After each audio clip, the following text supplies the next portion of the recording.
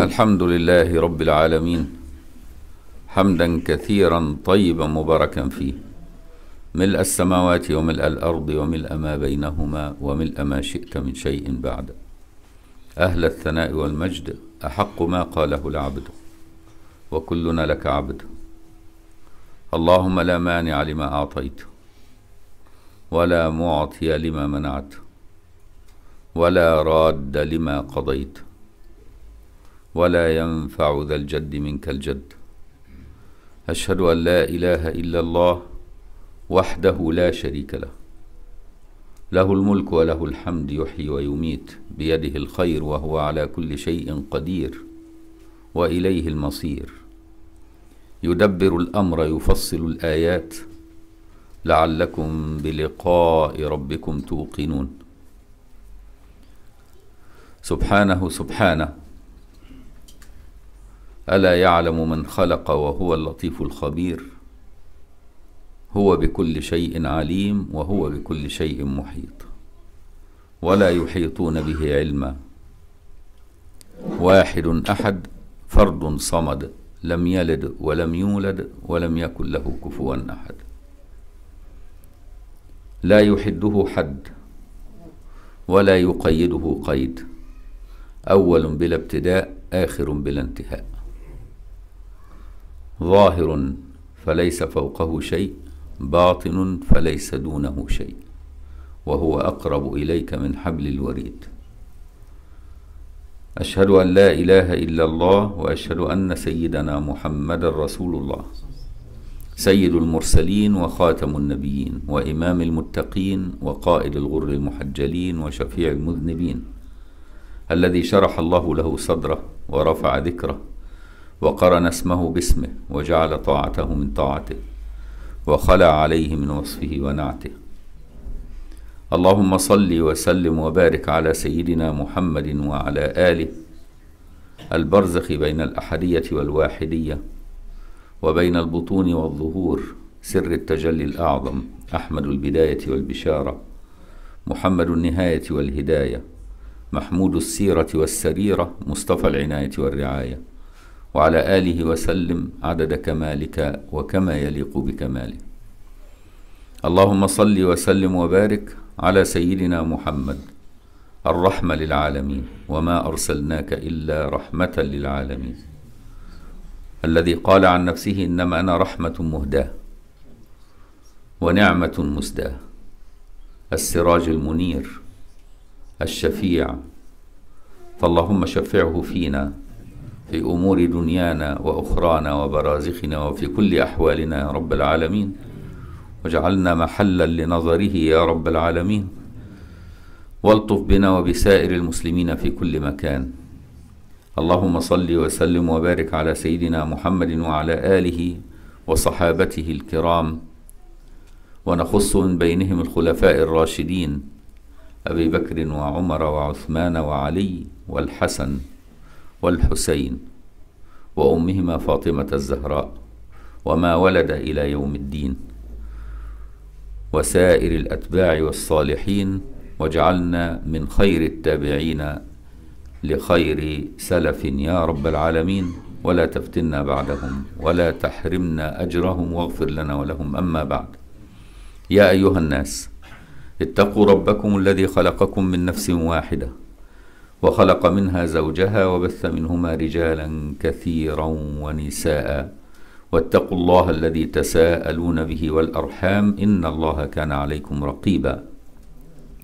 يا أيها الذين آمنوا اتقوا الله وقولوا قولا سديدا يصلح لكم أعمالكم ويغفر لكم ذنوبكم ومن يطع الله ورسوله فقد فاز فوزا عظيما. الرضا بالقضاء والقدر ركن من أركان الإيمان. إذ لو غاب الإيمان بالقضاء والقدر سقط كل الإيمان لأنك تكون قد نسبت إلى الله الجهل بما سوف يكون. والله سبحانه وتعالى بكل شيء عليم. ولو لم ترضى بالقضاء والقدر تكون قد عشت حياة التعاسة. لأن النبي صلى الله عليه وسلم قال إن الله بعدله وقسطه جعل السعادة في الرضا واليقين. السعادة ليست في جمع المال ولا في المناصب فالكل يزول. ولا حتى في العافية لأنك قد تستخدم العافية فيما لا يرضي الله. ولا في أي شيء قد تتصوره أنه يسعدك. السعادة الحقيقية هي الرضا واليقين. والرضا لا يكون إلا بالرضا بقضاء الله وما أقامك فيه.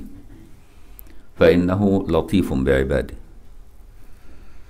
ومن لطفه بعباده يختار لك أفضل الاحتمالات التي قد تتصورها.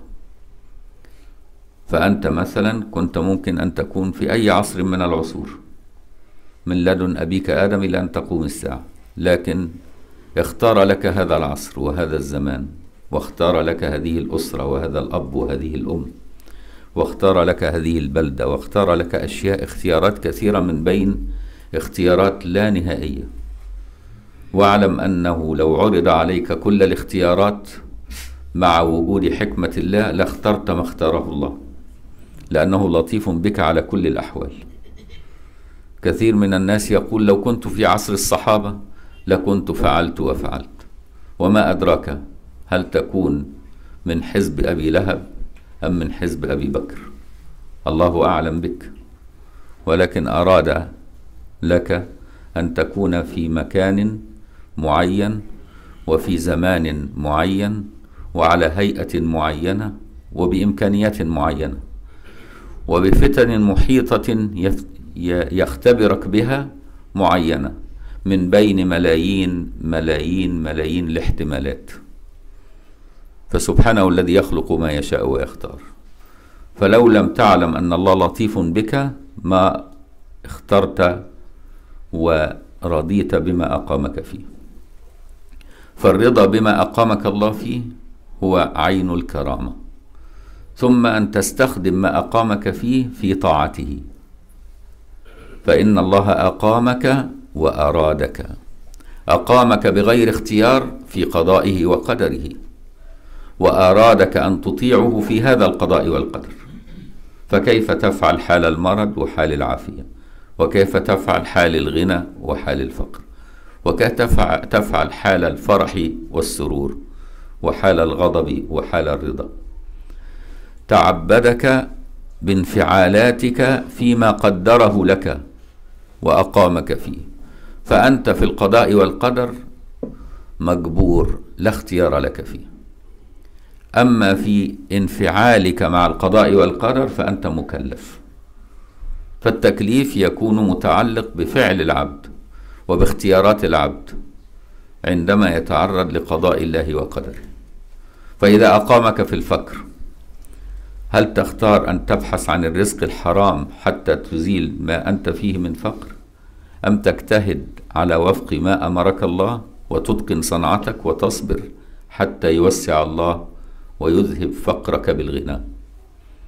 أم تتسرع وتتاجر التجارات الحرام أو تفعل الأفعال الحرام لتحصيل الرزق من أي باب كان؟ فالله سبحانه وتعالى أفقر الفقير ليختبر كيف يتفاعل مع الفقر؟ هل يحقد على الغني؟ هل يسرق من الغني؟ هل يحسده؟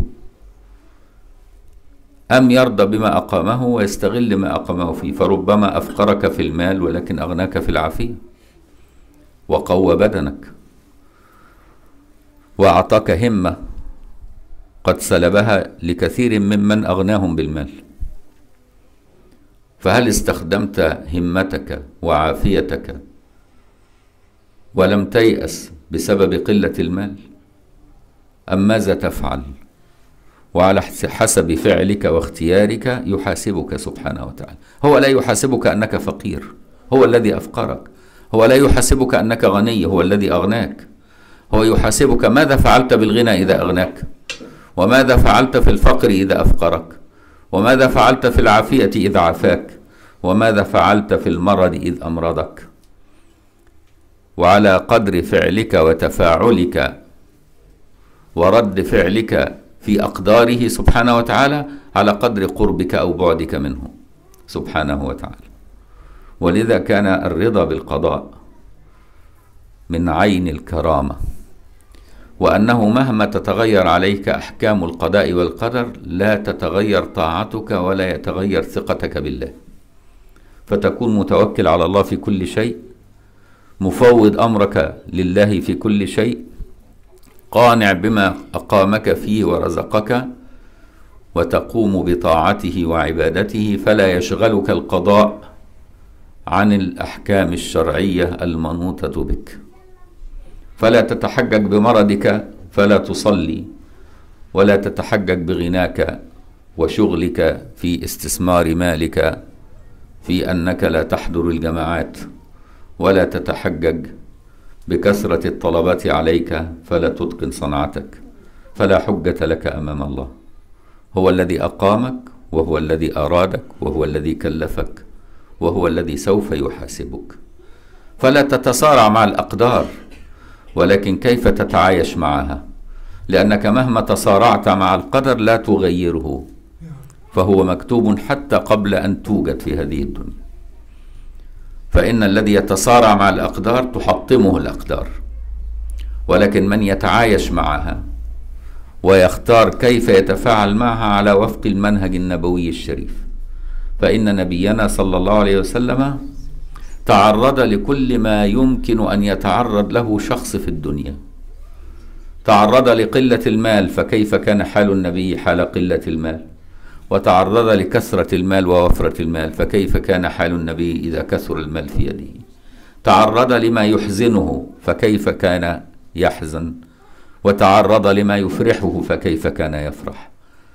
تعرض للزواج من من هي أكبر منه ولها أولاد من أزواج قبله. وتعرض للزواج ممن تصغره بكثير ولم يسبق لها الزواج.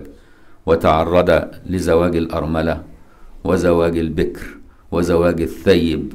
وتزوج من هؤلاء جميعا. كيف كان حاله في هذه الأحوال المختلفة؟ رزق الأولاد فكيف تفاعل مع الأولاد؟ وماتت الأولاد بين يديه ودفنهم بيده فكيف كان حال حزنه على أولاده؟ وكيف تفاعل؟ تعرض لعداوة أقرب الناس إليه وهم أسرته حتى أنهم كانوا يريدون أن يدفعوا المكافآت لمن يقتله. كيف تفاعل مع هذه الأسرة التي جحدت قرابته لهم؟ ثم تعرض بعد ذلك لأن تنكسر شوكة المسلمين أحيانا في أحد وفي بعض المواقف فكيف كان يصبر وكيف كان يتحايل على الأقدار وكيف تعايش معها حتى نصره الله سبحانه وتعالى وجعل دينه هو الدين الذي يسود إلى يوم القيامة هل كانت حياته حياة سهلة؟ هل كانت حياة النبي حياة سهلة وهو أشرف الخلق ولم يخطر المعصية على باله أصلا؟ لأن هناك من يظن أنه إذا قدر عليه بعض الأشياء الصعبة أن هذا بسبب أنه فعل ما لا يليق وهل النبي لما قدر الله عليه هذه المصائب الكثيرة كان فعل ما لا يليق الله سبحانه وتعالى قد يقدر عليك الأشياء ليرفعك بها أو لتنخفض بها على حسب كيف تتفاعل معها. فإن قدر لإنسان مصيبة فصبر ارتفع بالمصيبة. وإن قدر له النعمة فلم يشكرها انخفض بالنعمة. وطرد من رحمة الله بالنعمة قارون أنعم الله عليه بالمال الكثير وكانت هذه النعمة سبب طرده من رحمة الله. أيوب أصابه الله بالمرض وكان سبب مرضه ارتفاع قدره عند الله. فأنت لا تعرف أي شيء أفضل لك. هل هو البلاء أم الابتلاء؟ ولذا عليك أن ترضى بكل الأحوال ثم تفكر من خلال سيرة نبيك. كيف تتفاعل مع ما جاء إليك وما طرأ عليك من قدر؟ حتى يكون تصرفك مع الأقدار تصرف نبوي شريف حتى يكون لك أسوة. فالله سبحانه وتعالى خلق نبيك وجعل الأحداث تمر عليه في خلال ثلاث وستين عاما بكثرة وبتف وبتنوع بحيث أنه لا يوجد إنسان على وجه الأرض حتى ولو كان أنثى وليس ذكر إلا ويمر بموقف يكون للنبي موقف مثيل له. صلى الله عليه وآله وسلم. فكيف تتفاعل مع هذه الأقدار؟ فإن الأقدار لا تتغير. تفاعلك معه هو الذي يغير أثرها في علاقتك بربك. فما قدر عليك الأقدار إلا ليقربك إليه وأنت الذي تستخدمها لتبتعد عنه. فما أراد بك إلا خير. أراد أن يتعرف عليك بالجلال. فيقهرك أحيانا وأراد أن يتعرف عليك بالجمال فيقربك كثيرا. فماذا فعلت في حال القهر وماذا فعلت في حال القرب؟ هل رعيت الأدب في كل ذلك؟ ولا تنقضي هذه الاختبارات طالما أنت في الحياة. فالحياة سلسلة من الاختبارات والتصارع بين القضاء والقدر وبين تفاعلك مع هذا القضاء والقدر. كيف تتفاعل؟ يرسل إليك من يسوءك ومن يسبك ومن يسيء إليك. يرسله إليك مخصوصا حتى يعلم ويقيم الحجة عليك. هل أنت عندك من الحلم والصبر والأناة والتسامح أم عندك من الغضب وإرادة الانتقام والتشفي وحب الظهور لابد أن يختبرك. يرسل إليك الجاهل الجهول ويرسل إليك من ينفعك ويجري الخير على يديه. فماذا فعلت مع من نفعك؟ وماذا فعلت مع من ضرك؟ فهل سرت لمن نفعك أسيرا وسرت لمن ضرك عدوا؟ أم أن الضار والنفع هو الله ويظهر ذلك على يد من شاء؟ فتصير محجوبا بالأكوان محجوبا بالأقدار عن المقدر ومحجوبا بالقضاء عن القاضي فيها سبحانه وتعالى. فإياك إياك أن تعيش الأحداث فتحجبك الأحداث.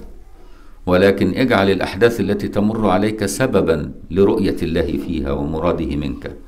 فتكون سببا لتحصيل السعادة في الآخرة.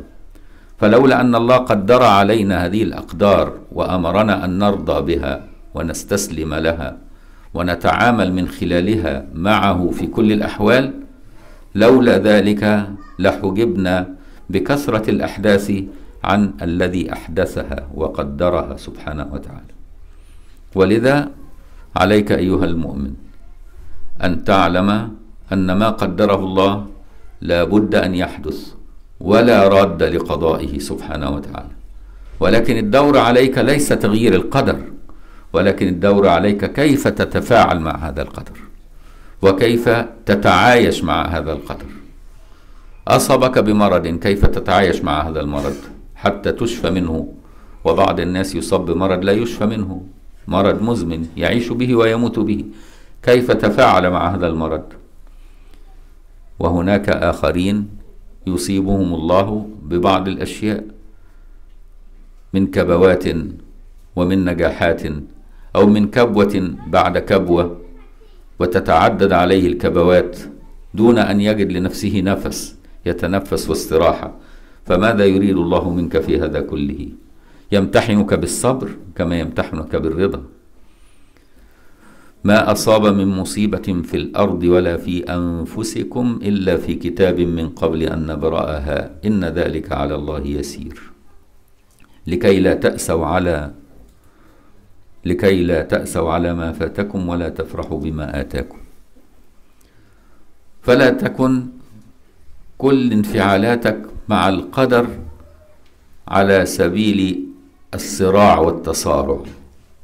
ولكن اجعل انفعالك مع القدر هو الرضا واليقين.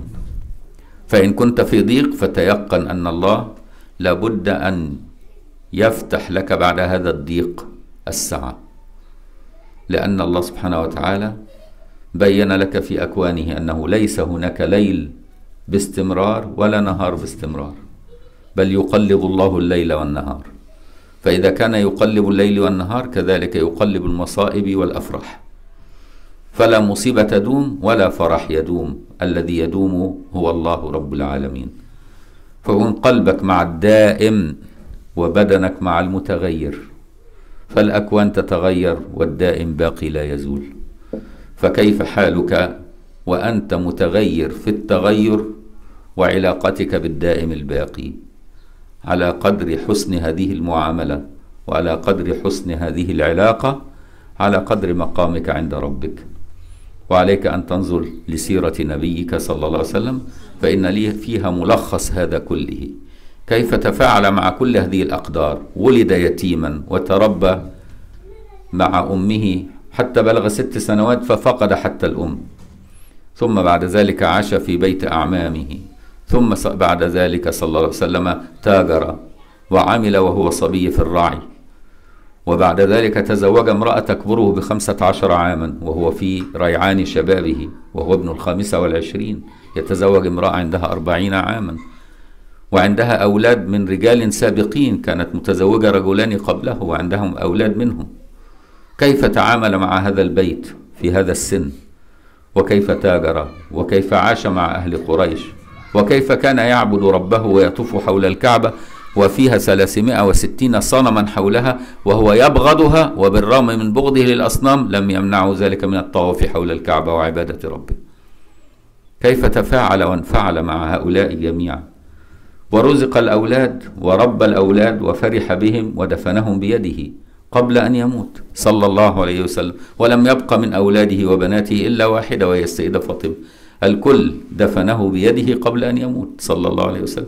كيف كان صبره على فقدانهم؟ وكيف كان رضاه بمقام ربه سبحانه وتعالى وما أراده منه؟ وكان يقول العين تدمع والقلب يحزن ولا نقول إلا ما يرضي الله. فانظر إلى أحوال نبيك. تعرض لغلاء الأسعار. وربط الحجر على بطنه. وصبر على الجوع. ووسع الله عليه فكان يطعم الجيش الغفير بقبضة من طعام. وتفجر الماء من بين أصابع يده صلى الله عليه وآله وسلم فشربت منه الجموع الكثيرة في أكثر من ألف موضع. وبالرغم من ذلك كان يمر في أحوال بين الفقر والغنى وبين الفرح والحزن. فعليك ألا تكن الأحداث والأقدار سببا للقنوط من رحمة الله أو عدم الرضا بقضاء الله. فإن الله سبحانه وتعالى تعبدك بالقضاء والقدر كما تعبدك بأوامر الشرع الشريف. فأنت تدور بين أحكام لا اختيار لك فيها وأحكام لك اختيار فيها. فالأحكام التي لا اختيار لك فيها هي أحكام قضائه وقدره وأحكامه الذي يحاسبك عليها هي الأحكام الشرعية التي تدور بين الحرمة وبين الكراهة وبين الإباحة وبين الاستحباب والوجوب. فكيف تفعل وكيف تعيش وكيف تتعايش؟ ولا يغرنك الجهلاء الذين كل كلامهم على الأحداث دون أن ينظروا إلى رب العالمين. فلان قال وفلان عمل وانظر كيف كانت الأسعار وانظر هذا هزم وهذا يريد وهذا حقود وهذا وهذا. وكره الله لكم القيل والقال. وكثرة السؤال وإضاعة المال. فلا تضيع وقتك في التعليق على الأحداث ولكن استغل وقتك في التفاعل مع الأحداث على السنة النبوية الشريفة المطهرة حتى تكون على أكمل حال فتكون الأحداث دافعة لك إلى الارتقاء وليست خافضة لك وباعدة لك عن رب العالمين.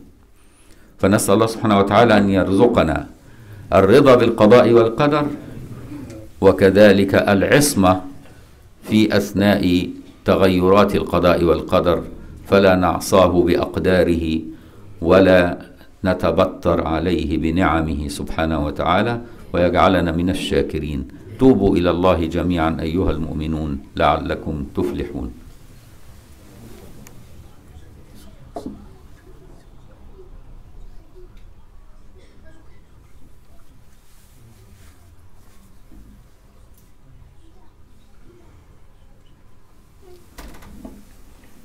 الحمد لله رب العالمين.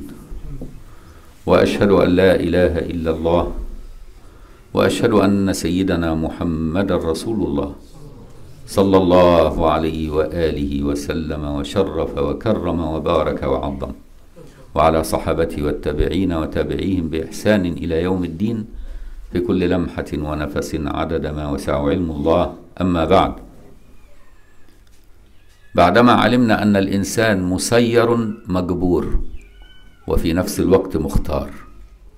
لأن الناس كثيرون يسألون هل الإنسان مسير أم مخير؟ هذا سؤال أزلي سأله حتى الفلاسفة قبل حتى ظهور الإسلام. ولكن الحقيقة أنه مختار مجبور في آن واحد. فأنت مجبور في الأقدار مختار في الأحكام. فلا اختيار لك في أقدارك ولكن أنت مكلف كيف تتفاعل مع هذه الأقدار وكيف تعبد ربك مع هذه التغيرات. هذا هو محل التكليف. لم يكلفك أن تتصارع مع القدر ولكن كلفك أن تعبده مع تغير القدر. حتى تعرفه في كل شيء. تعرفه حال النعمة والرخاء وتعرفه حال الشدة وحال الفقر. تعرفه في العافية وتعرفه في المرض. سبحانه وتعالى. فإنك إذا نظرت إلى الجلال بعين الجمال تولدت عندك الرغبة فيما عند الله.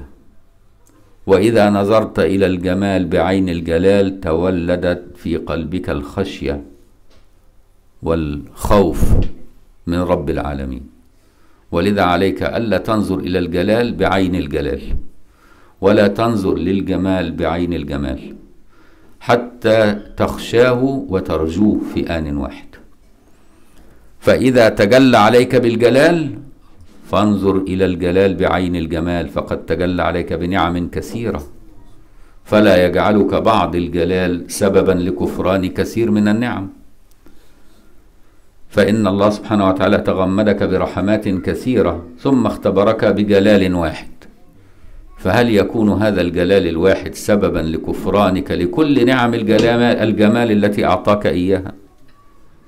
ولذا عليك ألا يضحك عليك الشيطان ولا تضحك عليك نفسك.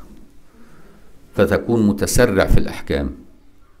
فإذا اختبرك بجلال قنطت من رحمته وإذا اختبرك بجلال ركنت لنعمته.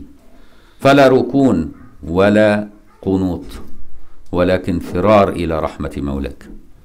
تفر حتى من النعمة إلى المنعم وتفر من البلاء إلى المبلي سبحانه وتعالى. ولذا يقول ففروا إلى الله. فإياك إياك أن تكون الأقدار والأحداث مانعة عنك عن رؤية مراد الله منك.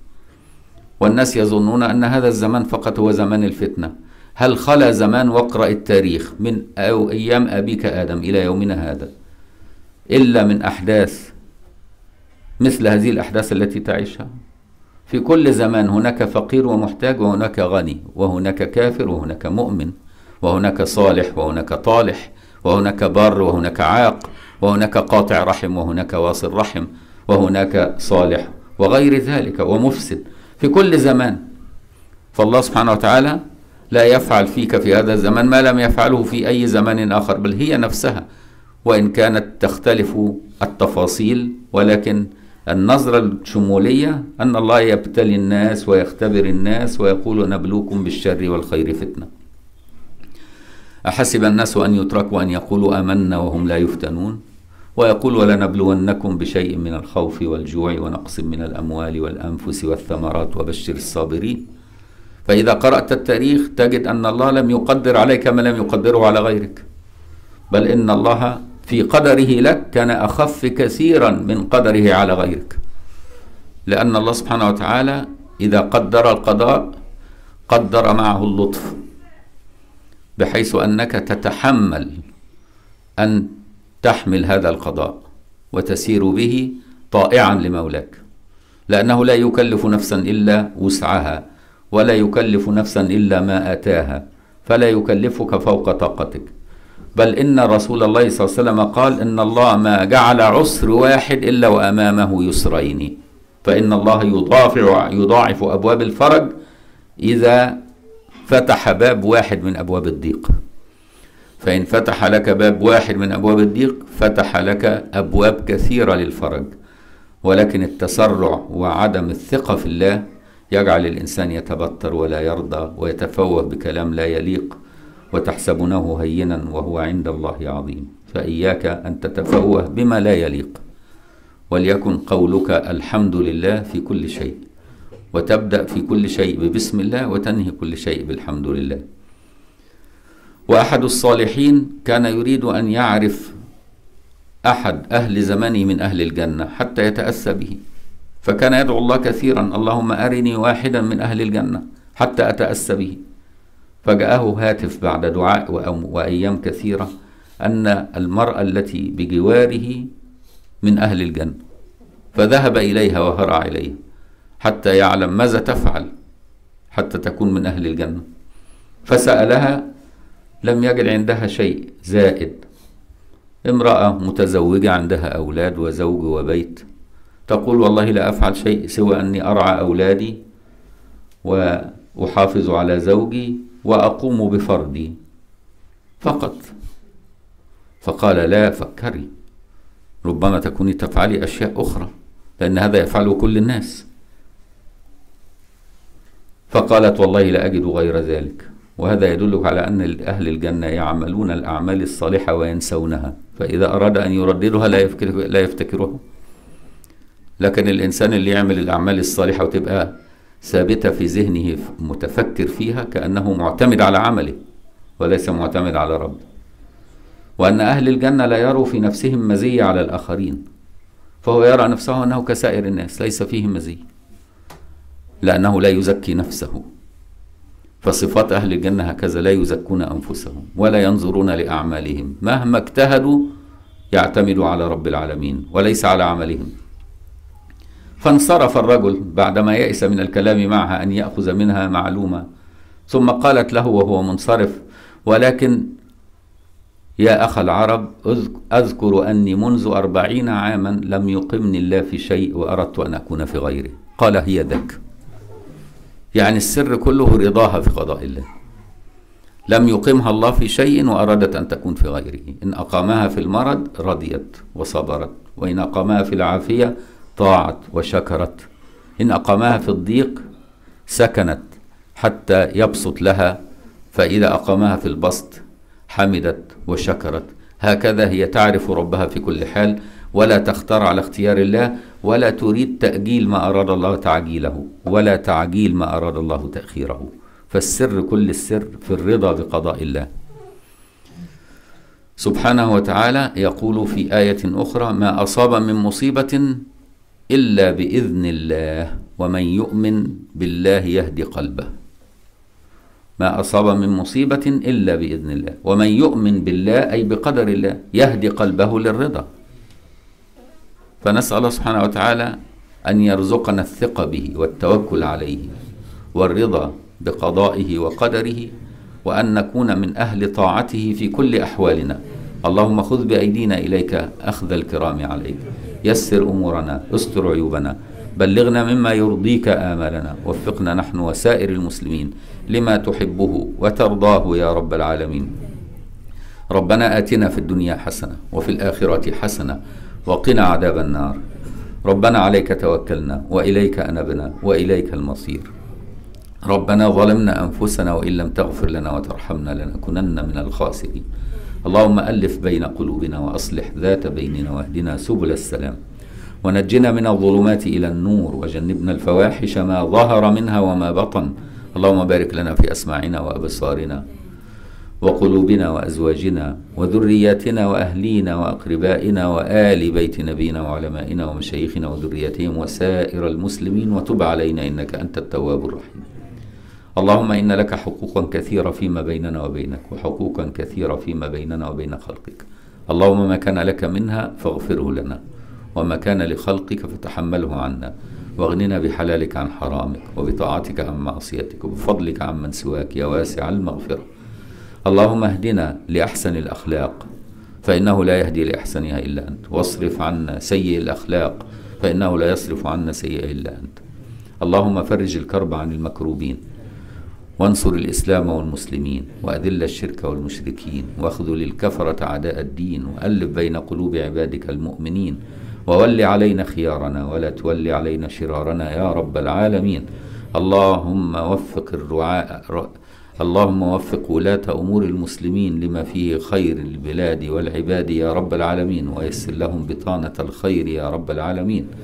اللهم اغفر ذنوبهم واملأ قلوبهم شفقة ورحمة وعدلا بالناس يا رب العالمين برحمتك يا أرحم الراحمين. اللهم انزع الطمع والحرص من قلوبنا وقلوب أغنياء المسلمين. اللهم إنا نسألك فعل الخيرات وترك المنكرات وحب المساكين. وأن تغفر لنا وترحمنا وتتوب علينا. وإذا أردت بعبادك فتنة فاقبضنا إليك غير مفتونين.